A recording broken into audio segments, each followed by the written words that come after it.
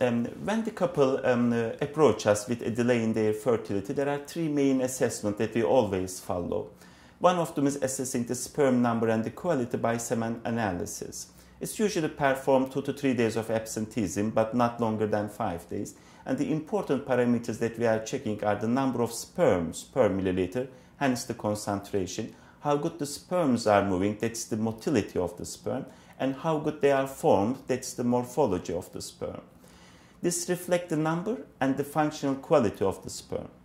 In addition to that, we also check the volume of the semen and the acidity of it. It's also important to give us information whether there might be an obstruction of the sperm um, uh, delivery uh, or not.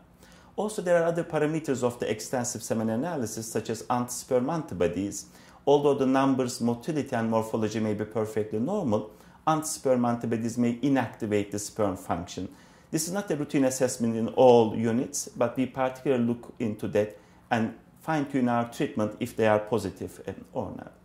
Also, uh, presence of white blood cell counts can give us some clues if there's any uh, silent infection that can affect the fertilization ability of the normally formed sperm. So semen analysis is the first and very important assessment of the couple fertility. The other aspects, obviously, the female counterpart, which is the ovarian reserve. That's the number and the quality of the eggs available in the ovaries.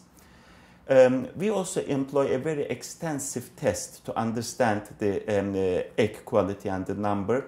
Start with an ultrasound scan, usually performed on day 2, day 3, or latest by day 4 of the menstrual cycle.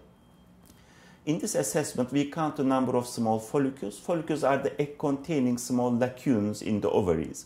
It has a very good correlation with the total number of eggs that we cannot see. If we have, for example, in total 8 or 10 follicles in the ovary, it gives us a quite reassurance that the egg numbers are average or above average. In addition to the ultrasonographic assessment of the ovaries in terms of the ovarian reserve assessment, we also do blood tests for hormonal assessment of the same concept. These are FSH, AMH anti-Müllerian hormone, and estrogen tests. Traditionally, we have been only doing follicle stimulating hormone FSH assessment, but it was realized that it is actually a delay responder of the ovarian reserve changes. So a normal level cannot give us a full reassurance that the ovarian reserve is normal, hence may lead us to the wrong treatment options there. So we further detail this by checking the anti-Müllerian hormone, which is a hormone directly coming from the ovaries, with a better correlation with the number of eggs available for treatment if we choose stimulation, for example. And estradiol level is also quite important in, the in this context of ovarian assessment. Make sure that these hormonal tests are reliable. After the assessment of the sperm and the egg quality, the third point is to assess the fallopian tubes and the uterus, um, the uh, female reproductive organs. The assessment is traditionally done by an X-ray called hysterosalpingography. That's the giving an X-ray contrast material into the uterus and see that the material follows the tube and spill inside of the abdomen and the X-ray can show that process.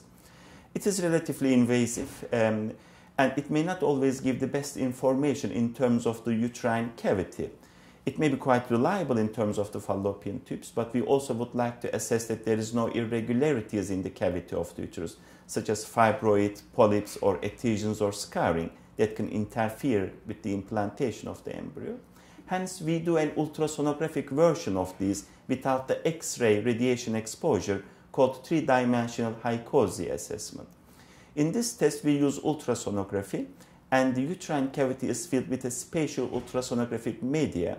Uh, it's saline based, and it will fill the cavity of the uterus. It expands the cavity, hence we can create a contrast that we can see the polyp and fibroids, which can easily be missed either by X-ray version or even with the normal ultrasonography. And the assessment of the cavity of the uterus is something that we would like to do in almost every patient coming to the unit for fertility treatment, and it's maybe one of the factors that differentiate this unit's success rate from the other units. And this saline solution, after filling the cavity of uterus, fill the fallopian tubes and spill into the abdominal cavity, and ultrasonography without radiation exposure can check that it's happening. And if the test results is normal, that's very reliable and doesn't need to be checked by further assessments then. So these are the three assessment parameters when the couple first expose uh, come to the unit with the fertility delay, assessment of the tube and uterus, assessment of the sperm, and assessment of the ovaries.